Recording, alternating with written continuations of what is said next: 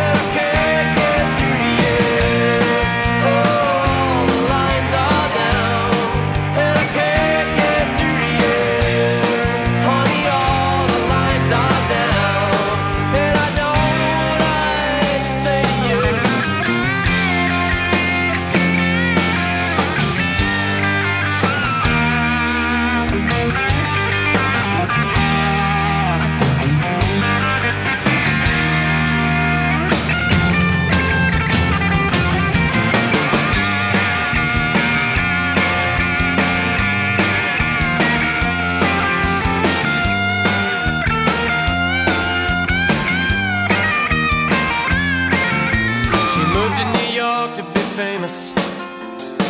Sometimes it works that way. I saw her in a magazine just the other day.